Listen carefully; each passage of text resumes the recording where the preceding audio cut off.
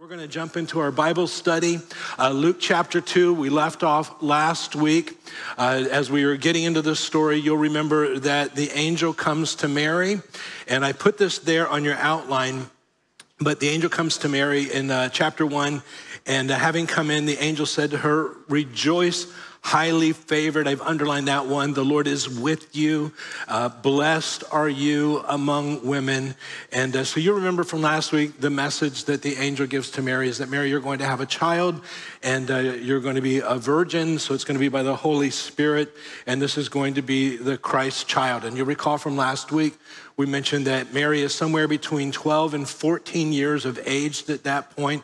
She's engaged to a man named Joseph, who's also probably very, very young. Um, in those days in the Middle East, 2,000 years ago, they did not have dating as we understand it. All marriages were arranged. Um, they were not forced marriages, but they were arranged marriages. So you would live in these small villages, and and uh, you know all the kids would play together, and the families knew each other, and and so the the parents would get together and say, you know, I think it'd be a great thing if if uh, you know our kids got married, and and uh, and if the kids agreed to it, the kids had to agree to it, then uh, you know that would certainly strengthen the family ties. So Mary has agreed to marry Joseph. Joseph has agreed to marry. Um, Mary. And so a year before they come together as husband and wife, they are, we would say engaged in English, but in that culture, they are legally married. And what that meant is once they had agreed to this, there was a ceremony that was involved, but, but in, in order to break the engagement at this point, it would require a, a certificate of divorce. And so the engaged couple, uh, this, this, this engagement period could not go any longer than one year. So in that year, the daughter would stay with her family, and then the, the son, the groom to be, would stay with his family. And what he would do is he would add on to his father's house so that he would then be able to go and bring his bride back to his father's house. And so there's a lot of end times uh, symbolism in there, and that's where all that comes from. So it's in this time period where they are in that year time period before they come together as husband and wife, but they're legally married in that culture that the angel appears to Mary and says, Mary, you're going to have a baby. This is going to be by the Holy Spirit. Mary is favored by the Lord. She's blessed of the Lord. The Lord is with her. But we noticed last week that the angel does not reveal what's going on to the rest of the, the community. And so as Mary begins to show, the rumors begin to fly Joseph, who is engaged to Mary, decides to put her away privately. He's decided to divorce her at this point. He apparently does not believe what we would call, uh, at this point, the, the virgin conception story. So uh, he doesn't believe that she is pregnant by the Holy Spirit. He just knows that, that she's pregnant. He loves her, but he just can't live with a woman who's been unfaithful to him. So apparently he doesn't believe the story early on. Fortunately, the angel appears to him also. There on your outline, it says, But after he considered this, an angel of the Lord appeared to him in a dream and said, Joseph, son of David. That's going to be important for our story, son of David. Do not be afraid to take Mary home as your wife, because what is conceived in her is from the Holy Spirit she will give birth to a son, and you are to give him the name Jesus because he will save his people from their sins. So there's no angelic explanation given to the rest of the community. Mary is highly favored. She's blessed of the Lord. The Lord is with her. So the question is, what does it mean in Mary's situation to be blessed of the Lord, highly favored, and to have the Lord with her? So I want you to write down a few things very quickly as we go through this. First of all, Mary's blessing is going to involve uh, an unplanned pregnancy. She's going to be 12 to 14 years of age. She's not planning to have a baby. She's planning on getting married. She's, uh, you know, thinking about that. But here she is. She's pregnant we would look on and we would say, write this down, it's bad timing. Yes, it's from God, but we'd say, you know, but Mary, you have your whole life ahead of you. And, and uh, when we get to next week's teaching, we'll see that they weren't really financially prepared to have a baby at this time. And again, she's planning a wedding, but she's not actually planning to, to uh, have a baby. So we'd say, well, it's, it's bad timing. Well, then, in addition to that, this blessing is going to mean a ruined reputation. And you want to write that down a ruined reputation. The angel does not appear to everyone. The local people do not buy the whole virgin conception story. And even 30 years later, this rumor is going around that, that Mary had, had had an improper relationship. We talked about this last week. When Jesus grows up, he's in an argument with the religious leadership, and uh, they're losing the argument, but they know his hot button, what to, what to push. And so they take the shot at his mama there on your outline from last week. He says, You're doing the deeds of your father. And they said to him, We were not born as a result of sexual immorality. And so they knew exactly what to say. And if you've read that, you know from what we said last week, Jesus says, You want to talk about my mama? Let's talk about your daddy. And uh, begins to say, Your daddy's the devil, and uh, it's not going to go well for you. But there was no angelic explanation to the rest of the community, to the family, or anybody else. And so there was this rumor that circulated that Mary had met up with a Roman soldier and he got her pregnant. And so even 30 years later, she's still dealing with this reputation. So the local community does not embrace what we would call the virgin conception story, and uh, apparently neither does the family. So, what this is also going to mean for her, and you want to write this down, it's going to mean rejection from family, rejection from family. And it's going to say in John's gospel that even his own brothers did not believe in him. So Mary is going to have other sons, and we'll talk about that in a little bit, but they did not believe in Jesus early on. It actually, the, the, from what we gathered, they don't believe in Jesus until he's raised from the dead. But, but think this through. If uh, you have brothers and they don't believe in you, it, it would imply that um, if they believed that Mary got pregnant by the Holy Spirit, then they would have to believe that there's something very special about Jesus. But they don't believe there's something very special about Jesus. And so it's assumed that they don't believe that Mary actually got pregnant by the Holy Spirit. Now, they had grown up in synagogue being told that when the Messiah comes, he would be born of a virgin. We talked about that last week. But they look at their mom and they go, not our mom. So apparently they didn't believe the virgin conception story either. And so the locals didn't buy it, the family didn't buy it. And in that very religious culture, this would represent for Mary, and you want to write this down, a significant health threat to the mother, a significant health threat to the mother. You see, they believed that Mary had had a physical relationship with a man. And uh, there was this rule from the Old Testament, the book of Leviticus, and it says this If there is a man who commits adultery with another man's wife, one who commits adultery with his friend's wife, the adulterer and the adulteress shall surely be put to death. Well, at this time, Mary is legally married. We say engagement, but she was legally married to, to Joseph. And now she's pregnant. And so they would claim that she was in an adulterous relationship. And so if they're going to put you to death, we would call that a significant health threat to the mother. Would you agree with that? Yeah, death is definitely a significant health threat. So Mary has all of the reasons that in our society we would look on and we would say, you know, um, Mary, you need to terminate this, this pregnancy. But here's what we know that, that uh, they didn't know.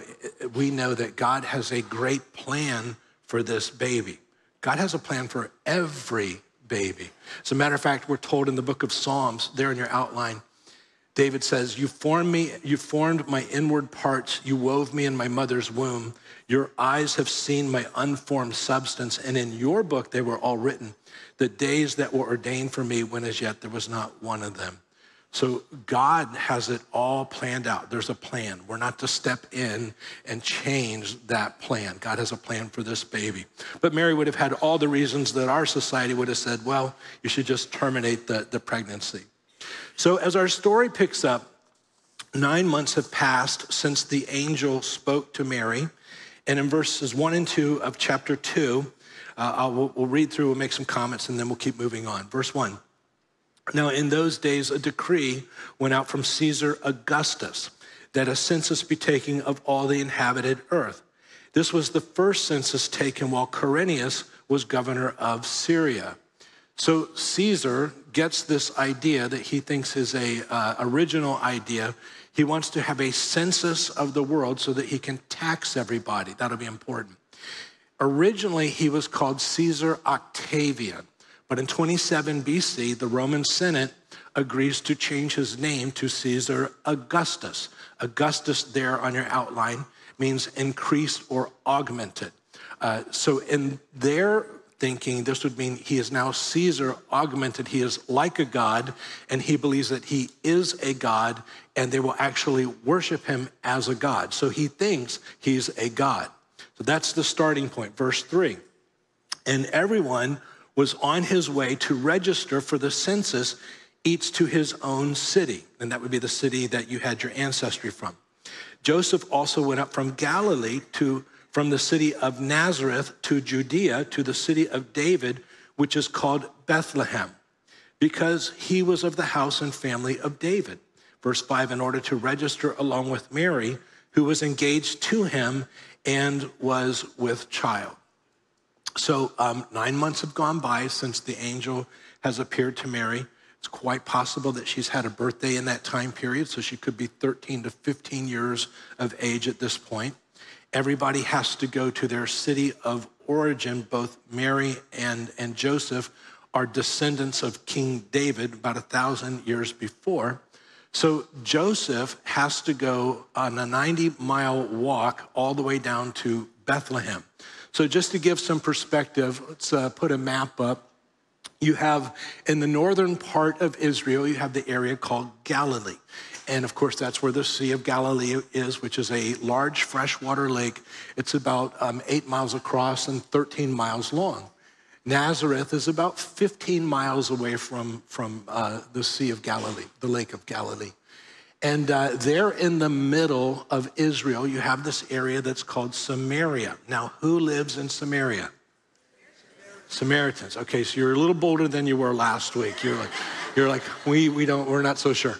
So you have the Samaritans, and they live in the middle part of Israel. So if you were Jewish, you wouldn't, you, what you would do is you would walk around Samaria because Jewish people and Samaritans, they didn't really mix. And so then you'd come down, and there's some, you know, hills and, and all that. Uh, you come down to Jerusalem, and uh, which is in the area of Judea. That's the southern part of Israel. And about four to six miles south of Jerusalem is this tiny little village called Bethlehem. So you want to write down that Bethlehem is about three to five acres in size. It's much larger now, but 2,000 years ago it was about three to five acres. So, so here's Mary. She's in her ninth month of pregnancy, and God has to get Mary to go all the way from Nazareth all the way down to Bethlehem in order to fulfill an Old Testament prophecy, which comes from the prophet Micah. And so, there on your outline, Micah told us where Jesus would be born. And this is about 700 years before Jesus is born. And it says this But you, Bethlehem Ephrathah. Now, Ephrathah just means fruitfulness, and I put that there on your outline. There's a big conversation. We're, we're not going to spend time on that, but, but fruitfulness. Though you are little among the thousands of Judah, about three to five acres or so, yet out of you shall come forth to me the one to be ruler in Israel, which is a, uh, a, a, a, kingdom on the earth, by the way, uh, whose goings forth are from old. Well, how old? Well, from everlasting, from everlasting. So, a couple of things.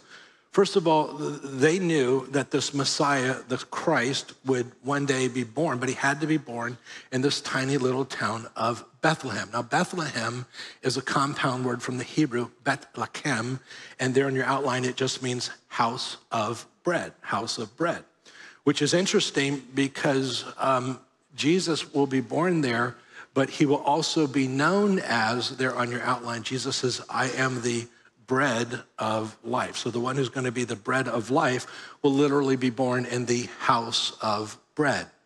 And it says that he's existed from, from everlasting. Now, in their minds, God is the only one who would be existent from everlasting. So this is their way of understanding. God will be born here. Yes, he's going to be born as a baby, but he's been in existence from everlasting. So God says, Mary, you're favored, you know, you're blessed, rejoice, you know, and, and uh, God's with you. But so far, it's meant an unplanned pregnancy, a ruined reputation. Not everybody understands. The angel doesn't appear to everyone. And so she's nine months pregnant, and God says, So I've got to get you to Bethlehem. And it's a mere 90 mile walk all the way down. You're going to go over some hills, and you know, it's going to be kind of you know difficult. And, but you're nine months pregnant, so you get to walk, but if you get uncomfortable, maybe we can get you a donkey or something that you can ride on. And after all, if you're nine months pregnant, what's more comfortable than riding on a donkey, right? So, so this is this is what Mary Mary has to do. So I would suggest, and ladies, you got to help me out on this one. I would I would say that Mary's probably not feeling all that blessed of the Lord right now. would, would you agree with that? That, that would make sense. Okay, so God realizes that Mary might not agree to voluntarily walk all the way down to Bethlehem when she's nine months or eight months pregnant in that time. So, Caesar Augustus, who thinks he's a god, he gets what he thinks is this you know, original idea. He goes, This is so brilliant. And he says, Here's what I'm going to do. I'm going to have a census. I'm going to have everybody go back to their, their town that they came from, their ancestors come from. We're going to create a census so that we can tax everybody. He goes, I'm, I'm so brilliant. But what hits me is that, is that he doesn't have the idea the year before, he doesn't have the idea the year after, but he has it at just the right time when Mary is going to need to go from Nazareth all the way down to Bethlehem. That tells us something, and you want to write this down that God works supernaturally through natural ways. God works supernaturally through natural ways. It says, The steps of a good man are ordered by the Lord. He delights in each step that they make. So here's God working behind the scenes, doing something, literally rearranging the whole world to get her down to Bethlehem. Mary's probably not feeling all that blessed of the Lord right now or favored by the Lord. And she's probably asking the question, why do I have to go through this? I mean, why? I, I, thought you said I was favored. I was blessed. God was with me. Her situation is beyond her control, and she probably wouldn't go if, if Caesar didn't say, everybody has to go. As a Christian, and for those of you who've been around a while, here, here's what you'll learn that sometimes God is using those difficult situations, circumstances in our life that we don't understand, we can't fix, we don't know why we're going through it. And, and it's not until after we go through that that we're able to look back and say, oh, that's what you were doing. That's what you're doing. And I think that she's going to see that later on. So don't be surprised as a believer that there's a time that you walk through a circumstance. You know what God's word says you're favored, you're blessed, He loves you, but it doesn't feel that way right now. It's only going to be after that you look back and you go, God, that's what you were doing in my life. And that's for all of us. We, we would all, we've all been there. Well, verse six, it says, Now while they were there, the days were completed for her to give birth. And she gave birth to her firstborn son, and she wrapped him, I have she wrapped him in cloths, laid him in a manger because there was no room for them in the inn. So the first thing we notice is there's no room for them in the inn. Now, if you're like me, and I grew up in church, we would watch these movies of, of the birth of Jesus. And so the, the movies typically went like this Mary and Joseph, they come into town and uh, they've got a donkey, and Joseph goes up to the door of the inn and it's all brightly lit on the inside and everybody's just having a good time, you know, and they're all eating and drinking. It's just a good time. And Joseph says, Can I, can I come in? And they go, we have, we have no room. And so he and Mary, they go like this, and then they just kind of walk away. Now, did you, did, have you seen movies like that? Okay, so yeah, so if you have, then, then you get this. Here's the thing um, that's not actually what happened because um, in this is the Middle East 2,000 years ago. This is Nazareth, um, uh, Bethlehem. It's a town of about three to five acres. They didn't have tourism as we understand it. So when they said inn, it wasn't for people to come and stay, get a room, you know, have a meal, that sort of thing. That, that it, you might have something like that in a large town like in Jerusalem, but not in these tiny little towns of three to five acres. So what would it be? Well, in Bethlehem and these tiny little towns, an inn would be a four walled structure. And it would be for if you were a shepherd and you were out in the field and you'd been out in the field for a couple of weeks and you just need a good night's sleep, you would bring your sheep into the, the village. The sheep would go into, it's more like a barn. They would be on the inside. You would sleep at the door. Your sheep would be on the inside. They would be safe, and you could get a, a good night's sleep. And so that's the idea. So it's not the inn like, like we, they didn't have Holiday Inn or something like that. So, so keep that in mind. But uh, apparently everybody's in from out of town, so they're using this at this time to house people because they have to take the census. Now, the, the part that we miss as we go through this is this is not just the Middle East, but this is Israel. This is Israel.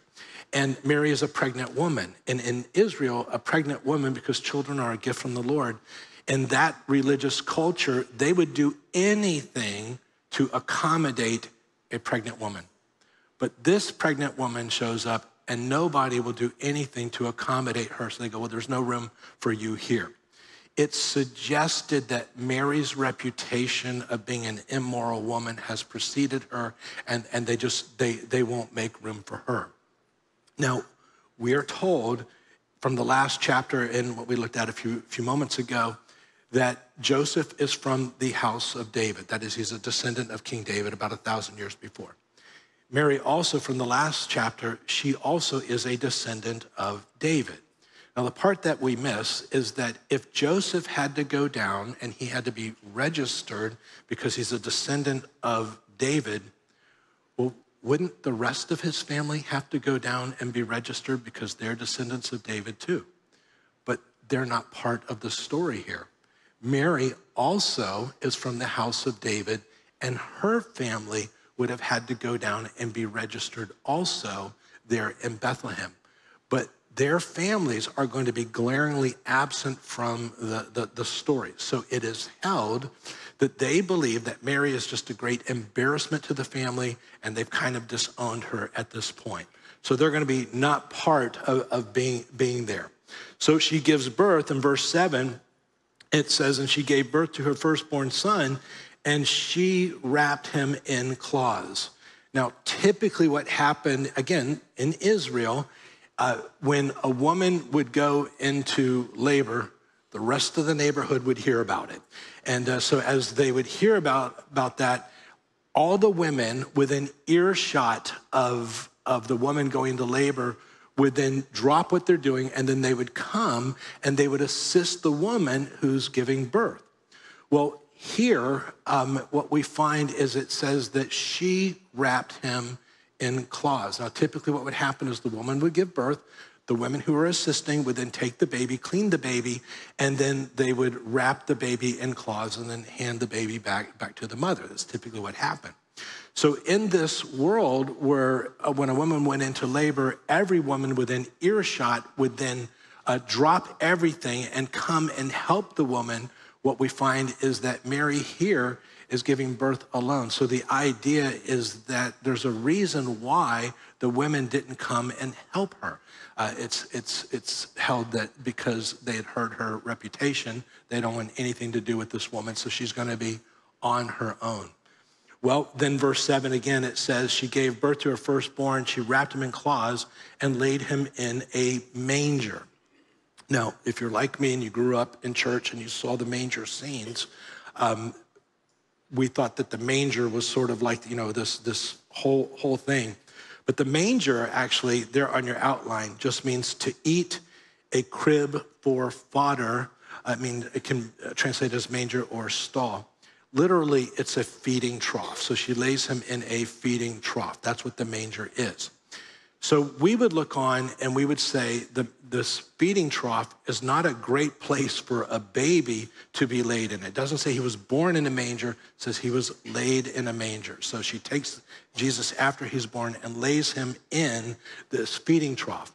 So it's not a great place for a baby, but it's a great place for a lamb, which is interesting because 30 some years later, 30 years later, Jesus is, is walking, John the Baptist sees him, and it says the next day he saw Jesus coming to him and said, Behold the Lamb of God who takes away the sin of the world.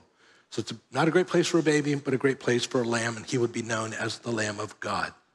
Well, verse 7, it says, She gave birth to her firstborn. Now, when it says firstborn, you want to write this down, it implies that there will be more. There will be more, more than one baby, which is why in another gospel in Matthew, it would say, Joseph kept her a virgin until, and you want to underline that word until, she gave birth to a son, and he called his name Jesus. Well, we would hold from our, our church background that when uh, G- Mary gives birth to Jesus, after that, uh, they began to have very normal relations. And like any good Jewish girl in that culture, she begins to start popping out babies. So, how many babies did Mary start popping out? Well, interesting. Um, in Matthew's gospel, it will say this it says, Is this not the carpenter's son? The people are asking. Is not his mother called Mary and his brothers James, Joseph, Simon, and Judas? Now, when it says Judas, this is not Judas Iscariot. Judas was a common name, comes from Judah. And so that uh, we would just say Judah. And then it says, and his sisters, and that's in the plural. So he has four brothers and at least two sisters. It's in the plural in the Greek and also in the English. Are they not all with us? And then where then did this man get all these things?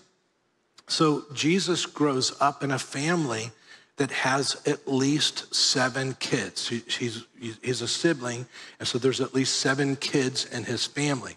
And so I just want to say that if you grow up in a family and you have seven siblings, six siblings, all these siblings, and you grow up without sin, then truly you are the Son of God. So, would you agree with that? Yeah. Amen. I know that some of us come from a tradition that holds that Mary was perpetually a virgin, that they never had relations. The, the problem with that, that is a tradition but you can't get there from your Bible because the Bible speaks very clearly that, that, that they did. Well, Mary is blessed. She's favored of God. She walks 90 miles to give birth alone. We would look on and we say, Mary, you're just, you're too young for this. I mean, 14, 13, 14, 15 years old, you give birth alone.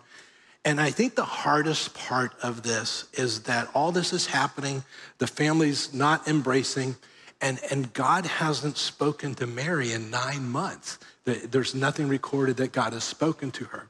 So she's probably a little bit despairing at this point.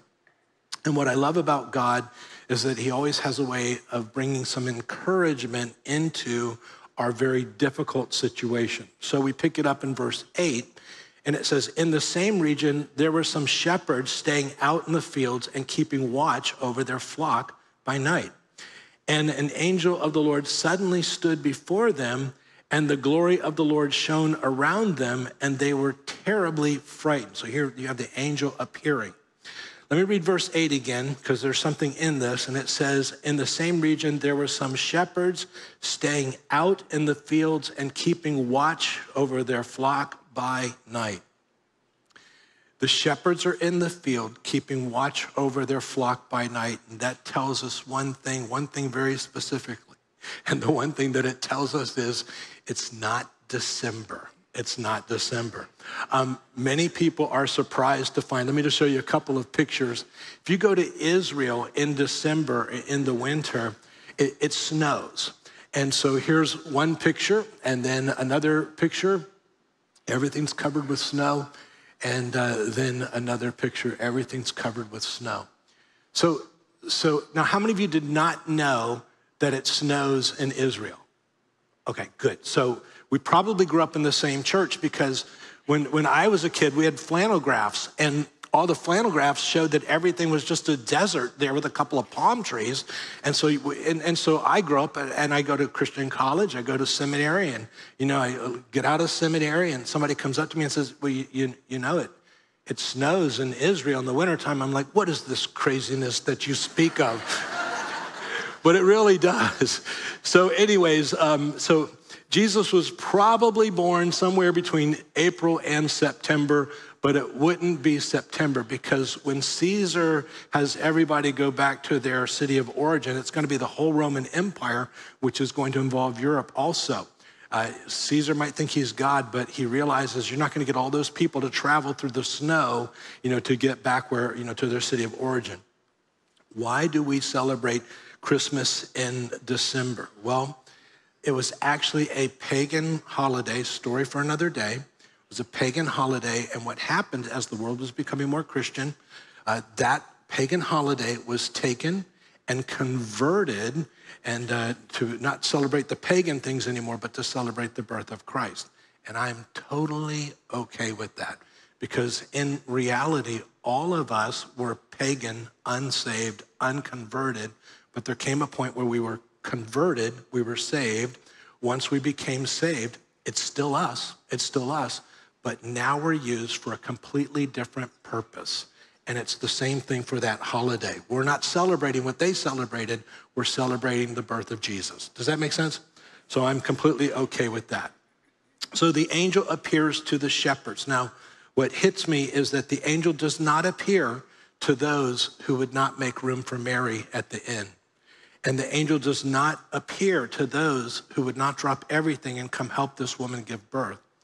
And the angel does not appear uh, to the family members who are rejecting her story at this point.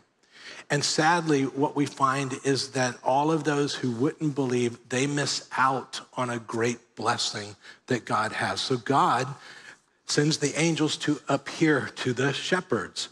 And so you have the shepherds in the field, verse 9, and an angel of the Lord suddenly stood before them, and the glory of the Lord shone all around them, shone, shone around them, and they were terribly frightened. But the angel said to them, Do not be afraid, for I bring you good news of a great joy, which will be for all the people. And I want to come back to that, that, that verse. So this is going to be for all the people. I, I put verse 10 on your outline because there's something that sometimes we read that and, and we miss.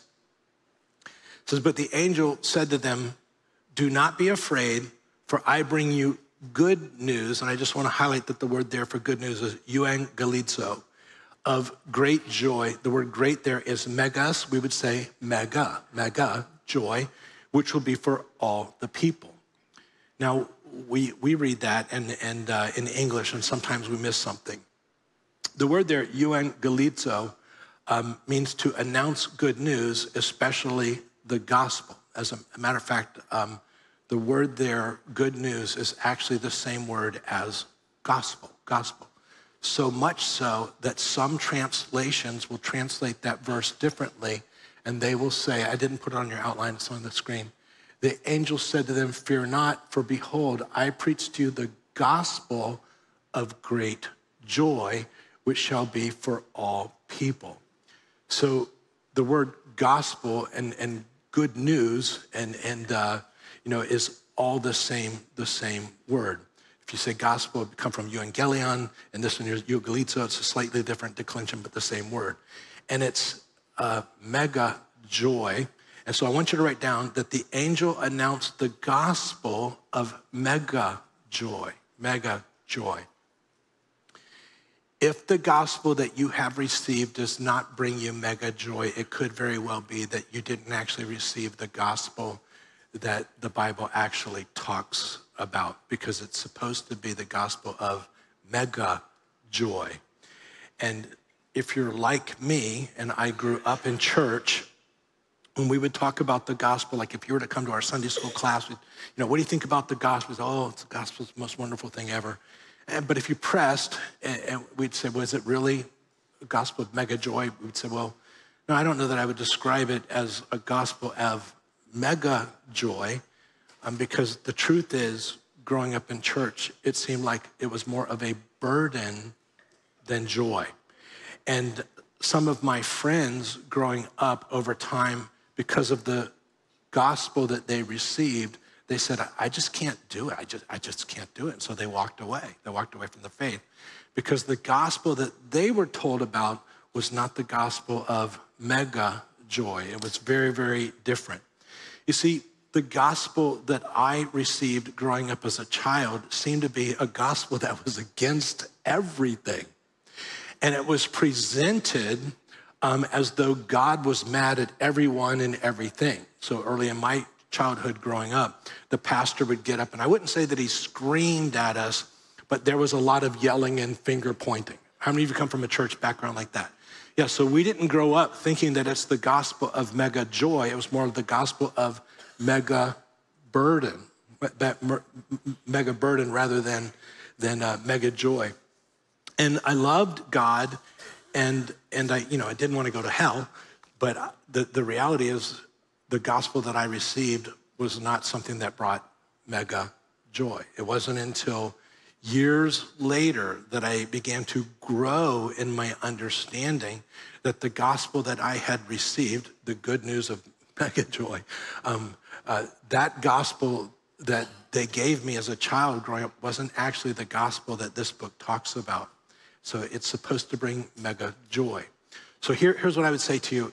The gospel that you've believed in or you've been hesitant to embrace has not brought you mega joy, then stick around in the gospel of Luke because we're going to see time and time and time again why it's the gospel of mega joy, not the gospel of mega burden. Does that make sense? So, so stick around. Well, verses 11 and 12, it says, For today in the city of David there has been born to you a Savior who is Christ the Lord. They would understand Christ the Lord, that God has just been born in Bethlehem. He's a baby, but he's fully God. This will be a sign for you. You will find a baby wrapped in cloths lying in a manger and lying in a manger. The reason it's a sign is you didn't typically find babies lying in a feeding trough. And so this is going to be the sign. And suddenly there appeared with the angel a multitude of the heavenly hosts praising God and saying, Glory to God in the highest and on the earth, peace among men with whom he is pleased. Now, every translation will say that slightly different. Um, others suggest uh, peace on earth with God is pleased with those who are pleasing to him, but each translation will be slightly different. Verse 15. Now, when the angels had gone away from them into heaven, the shepherds began saying to one another, Let us go straight to Bethlehem then and see this thing that has happened, which the Lord has made known to us. So they came in a hurry and found their way to Mary and Joseph, and I've underlined the baby as he lay in a manger. Typically, don't find babies lying in a feeding trough. Now, when they had seen this, they made known the statement which had been told them about this child. And all who heard it, all who heard it, we'll talk about that, wondered at the things which were told them by the shepherds. But Mary treasured all these things, pondering them in her heart. It's been a tough night for Mary. The shepherds went back glorifying and praising God for all that they had heard and seen, just as had been told them. In verse 18, it says, and all who heard it, you know, all who heard it wondered. And you have Mary, and she's in a field, in a cave, we don't know. Um, but the baby is lying in a feeding trough. And so here you have everybody in from out of town, they're being registered. And so the shepherds would not come into Bethlehem during this time because just, you know, they just wouldn't be able to get in. And so the, the shepherds hear this. And so they say, let's go. So we don't know how many shepherds 10, 20, we, we, we don't really know. Could be a few hundred sheep, it could be a few thousand sheep. But when they come into town, it's quite a ruckus. And so it apparently draws the attention of some of the other people who are around. And so when they show up, people are curious why did the shepherds show up here? And so when they begin to explain what's taken place, people begin to wonder. And so some suggest that it could be at this point where Joseph's family, who's not been part of this uh, at all, because Mary's somewhat of an embarrassment, or Mary's family, as they hear what's going on, what the angel said, it could be at this point that all of a sudden they begin to think, well, maybe, maybe we've missed it. Maybe we've missed it. Maybe there's something going on here. We don't know. That's some conjecture. But here's what we do know write this down. God doesn't immediately change the circumstances, but sends comfort in the circumstances. Mary and Joseph's circumstances are going to change dramatically as we go through the rest of the chapter next week. But right now, there's just encouragement in the circumstances. As, as we close this today, I would just want to say to you that for some of us, we're going through some very difficult situations, some things that we don't understand, we don't know why, we can't fix it. Uh, we know that, that we look at our lives, there's not this glaring sin and so we're wondering, Lord, what, what is going on? It could very well be that what you are going through right now is the very thing that God wants to use in your life to bring you to just the right place that you need to be to do his work in you, ultimately to do his work through you. But in order for that to take place, we have to do what Mary did. Mary chose that she was going to be faithful to the Lord walk with the Lord, represent Him, even when it didn't make sense and even if other people around didn't understand. It's when you come to that place, and that's where God begins to work in our lives and begins to do something. And again, as I said earlier, we could stand up here right now, and so many of us could stand up and talk about, I went through this. I don't know why I went through it. This was going on. I couldn't fix it, couldn't change it. But then when it was over, I was able to look back and say, Lord, now I understand why I walked through that, what you were doing. If that's you today, I would encourage you, stay faithful, hang on to the Lord. God might be doing something bigger than what you can currently see right now.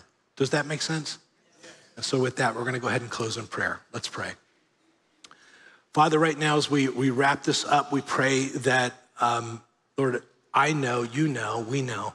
There are so many of us who are here today who are walking through some circumstances we don't understand, and, and people around us don't understand. And we can't fix it. And, and yet we can't shake the fact that you are somehow involved in these circumstances. And so our desire right now is to trust you, even though we can't see how it's going to work out, and to trust that you are doing something and that you are going to do something and somehow, some way, in a way that we can't even see right now, you're going to get us to just the right place where we need to be in order for you to do your greatest work in us and ultimately through us. And so we commit to that right now. Lord, I thank you for this congregation, and I pray, God, that you keep each and every one of us until we meet again. It's in Jesus' name that we pray, and all God's people said, Amen. Amen. God bless you guys. We'll see you next time.